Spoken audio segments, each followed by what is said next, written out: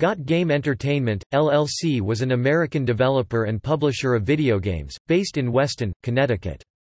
Got Game chiefly published adventure games, with Arma 2 being the most notable exception.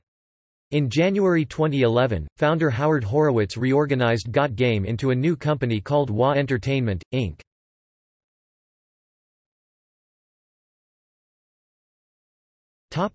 Games published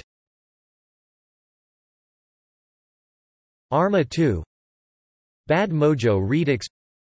Barrow Hill. Darkspace Memento Mori. Nikopol, Secrets of the Immortals. Puzzlescape Anna Capri The Dream. A Quiet Weekend in Capri. Rhem. Rhem 2, The Cave. Rhem 3, The Secret Library. Scratches. The Lost Crown, a ghost hunting adventure Tony Tough and the Night of Roasted Moths Twin Sector Worldshift